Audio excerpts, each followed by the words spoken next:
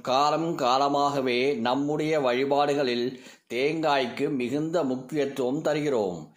தேங்காயை உடைத்து அதன் குடுமியை அகற்றிவிட்டு உள்ளிருக்கும் வெண்மையான பருப்புகளை இறைவனுக்கு சமர்ப்பித்து தீப ஆராதனை செய்யும்போது நம்முடைய பூஜை முழுமை பெற்றதாக உணர்கின்றோம். அதே போல கோவிலுக்கு செல்லும்போது அர்ச்சனை தட்டை குருக்களிடம் கொடுத்துவிட்டு நாம் கொடுத்த தேங்காய் சரியாக உடைக்கப்படுகிறதா?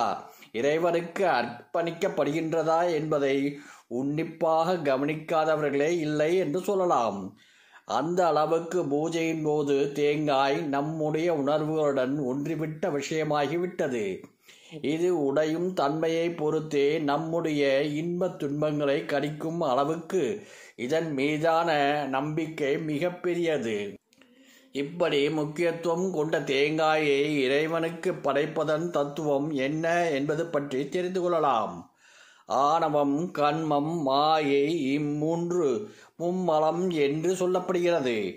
தேங்காய் உடைப்பதென்பது நம் ஆன்மாவை சுற்றியுள்ள இம்மும் மலங்களை போக்குவதற்காகவே தேங்காயின் மேல் இருக்கும் மட்டையை மாயமலம் என்றும் மட்டை என்றும் மாயமலத்தை நீக்கினால் அடுத்ததாக வரும் நார் என்பதை கண்ம மலம் என்றும் கண்ம மலத்துக்கு அடுத்து வரும் ஓட்டை ஆணவ மலம் என்றும் சொல்லப்படுகிறது.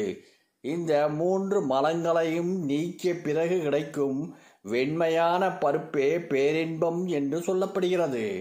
நம் மனதை மூடியிருக்கும் இந்த மூன்று மலங்களையும் அகற்றி பேரின்பத்தை அடைய வேண்டும் என்பதற்காகவே தேங்காய் உடைத்து இறைவனுக்கு அர்ப்பணிக்கின்றோம்.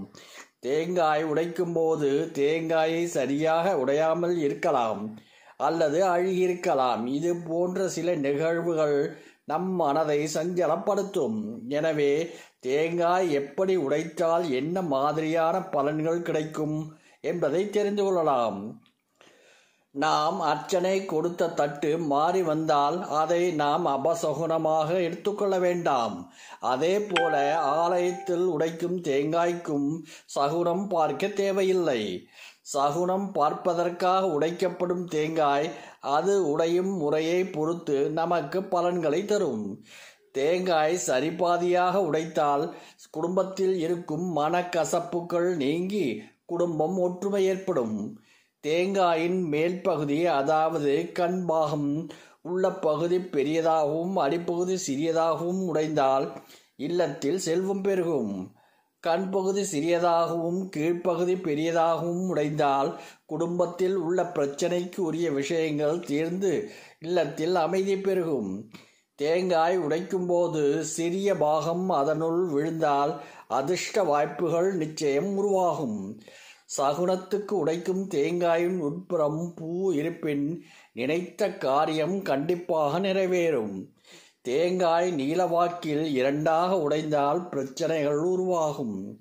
சரி சமமாக உடைந்தால் துன்பம் தீரும் செல்வம் பெருகும். மூன்றில் ஒரு பங்காக உடைந்தால் ரத்தினம் சேரும்.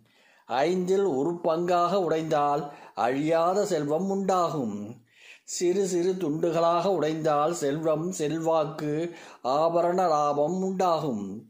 ஓடு தனியாக கழன்றால் துன்பம் வரும். நீள்வாக்கில் உடைத்தால் தடம் அழிந்து துன்பம் உண்டாகும். உடைக்கும் பொழுது கைப்பிடியிலிருந்து தவறி கீழே விழுந்தால் குடும்பத்தில் துன்பம் மற்றும் பொருள் இழப்பு ஏற்படும்.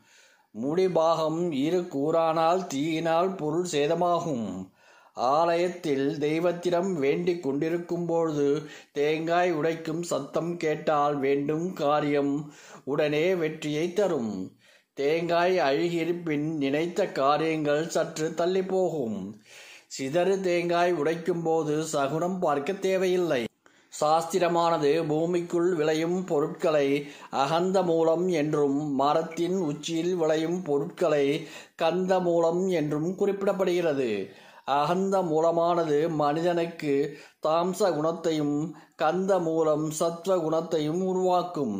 மரத்தின் உச்சியில் விளையும் கந்த மூலப்பொருட்கான தேங்காயை மனிதன் உட்கொள்ளும் போது மனிதனுக்கு சத்துவ குணம் மேலோங்கி இன்பத்துடன் வாழலாம். हर हर शङ्कर जय जय शङ्कर हर हर शङ्कर जय जय